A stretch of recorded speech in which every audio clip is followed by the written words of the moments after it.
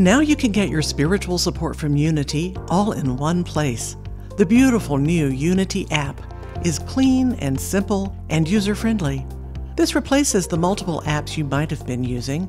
The old Daily Word and uPray apps will be retired, so make sure you have this new one called Be Unity. From this new BeUnity app, you can click on Daily Word to read your subscription. You can easily submit prayer requests to the Unity Prayer Ministry, Silent Unity.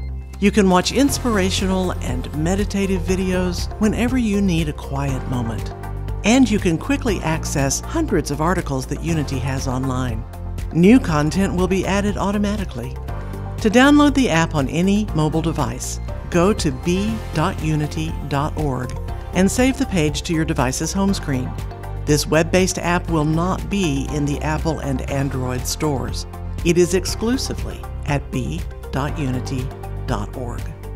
Once your app is installed, you have some choices to make. In the settings, you can choose to use the app in English or Spanish. You can choose a light screen or a dark screen. You can also choose what you want to appear first on your home screen.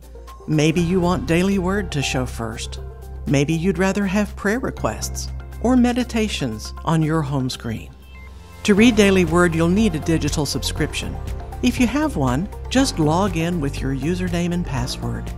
Once you have BeUnity set up, remember to uninstall and delete your old Daily Word and uPray apps from your devices. They will no longer be supported by Unity. That's it.